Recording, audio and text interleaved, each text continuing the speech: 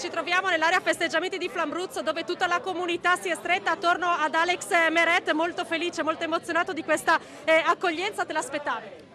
Mi aspettavo ma non così tanta gente, sono veramente emozionato e felice di, di essere qua e di poter filmare qualche autografo ai bambini e di stare con la mia gente che mi supporta sempre. Senti un po' la responsabilità di essere un esempio per tutti questi bimbi?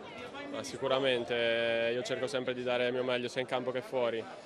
Poi se sono un esempio per loro per me è un grande orgoglio e spero che, che crescano coltivando i loro sogni e spero che riescano anche loro ad arrivare ad alti livelli.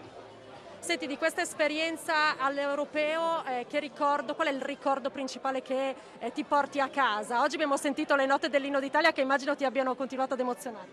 Sì, vabbè, l'inno è sempre una grandissima emozione non saprei dirti un, motivo, un momento in particolare, c'è stato veramente tutto il percorso, è stato bellissimo, ho fatto parte di un gruppo veramente bello non solo in campo ma anche fuori, eravamo come una famiglia e, e il gruppo ha fatto la differenza alla fine, siamo contentissimi di aver raggiunto questo traguardo.